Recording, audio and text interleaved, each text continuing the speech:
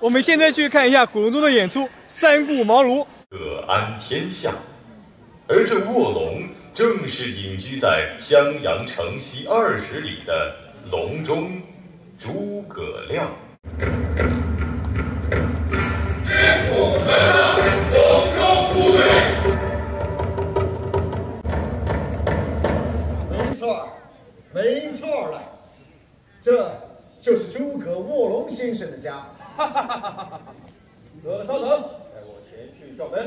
三弟且慢，为了表达诚意，还是我亲自叫您便是。嗯，有道理。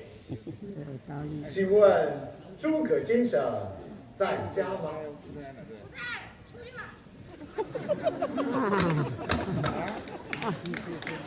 请问卧龙先生在家吗？对，诸葛亮在家吗？哎呦，是谁呀？我呀呀，大胆小儿，五年。三弟，不可放肆。你又来了，也成了来了。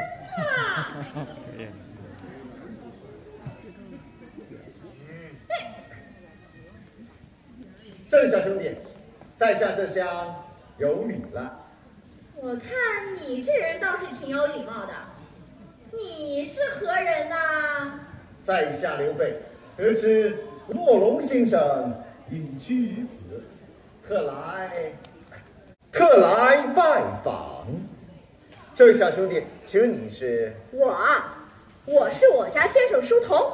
我家先生今日不在，你们请回吧。我呀呀，你这小儿又敢无礼！哎，我家先生今日真的不在。哎，小兄弟，你不知何时回来呢？小兄弟，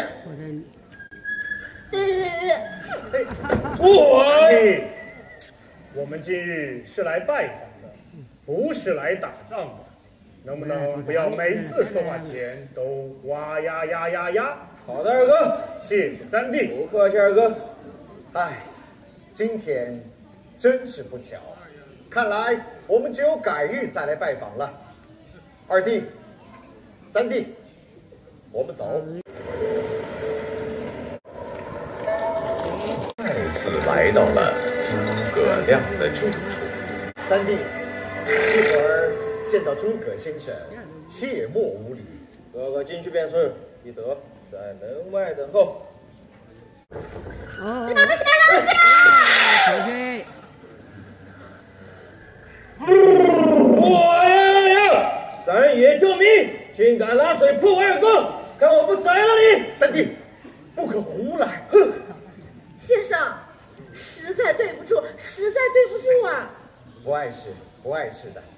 这小兄弟，在下刘备，上次见过的。实在是不巧，我家先生啊，今日外出闲游去了。何时回来？嗯，那我就不知道了。这，我呀呀呀！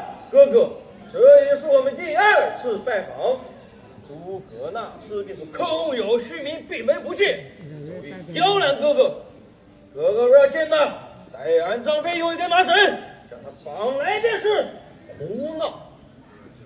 我等就在此等候。哥哥，今天天气很冷，还下着大雪，要不我们改日再来拜访，可好？哦，下雪了吗？下雪了吗？下雪了。两次到访都未见到诸葛亮，使得关羽、张飞开始怀疑诸葛亮只是徒有虚名，纷纷劝说刘备放弃汉室的心愿，让他义无反顾地再次来到了诸葛草庐。三弟，能不能不要在我面前走来走去，走来走去，走来走去？哥哥精诚所至，今天一定能见到的。哼！如若今日诸葛那是再不现身，我就一把火烧了他的草棚子。我家先生啊，今日在家呢。太好了，太好了！二弟、三弟，今天我们终于可以见到诸葛先生了，恭喜哥哥！我家先生此刻正在休息，恐怕不便见客。不碍事，不碍事的，我等就在此等候先生醒来便是。那好吧，大梦谁先觉？平生我自知。在下刘备在此以恭候先生多时了。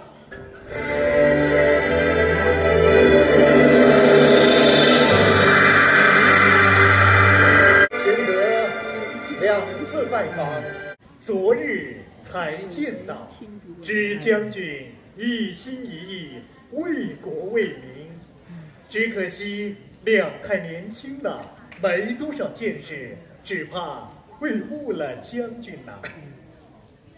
司马徽和徐元直那都是世之高士，他们二人都举荐，岂是虚言？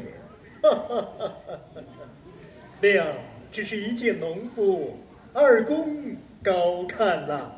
大丈夫学以致用，王先生以天下苍生为念，汉室就要完了。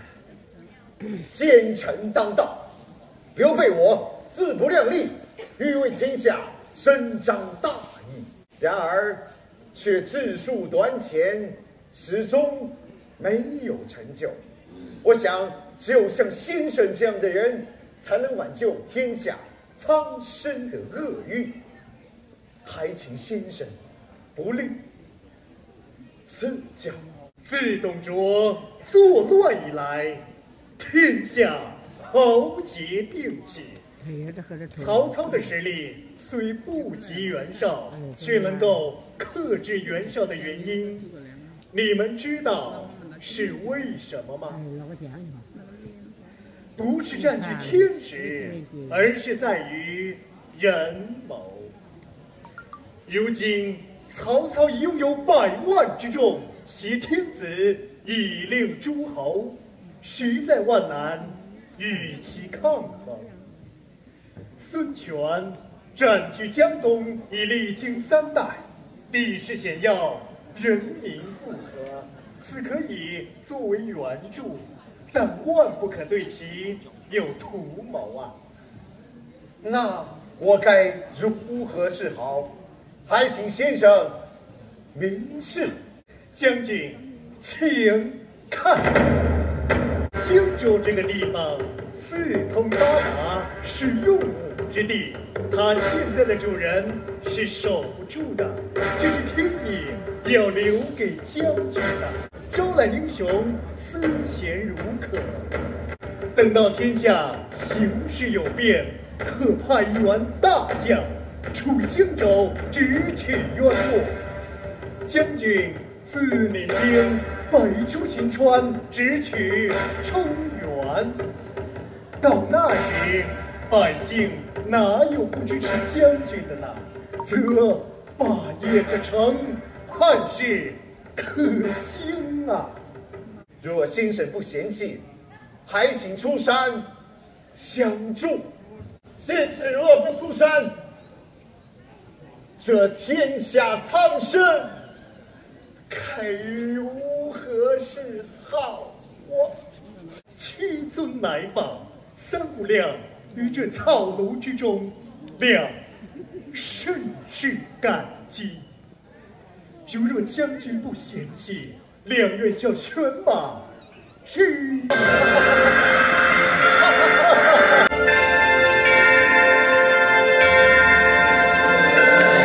现在演出已经看完了，大家感觉怎么样？